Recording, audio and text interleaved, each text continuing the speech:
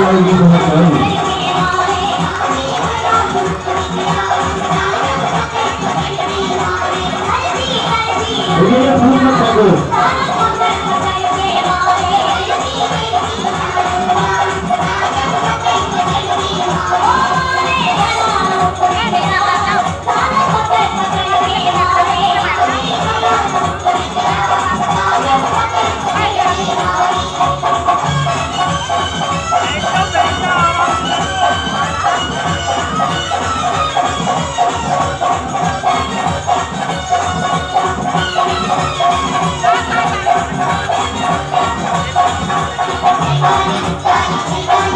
निकालने वाले भाई को थोड़ा दिया चलो आने वाले पीछे से थोड़ा रास्ता होता है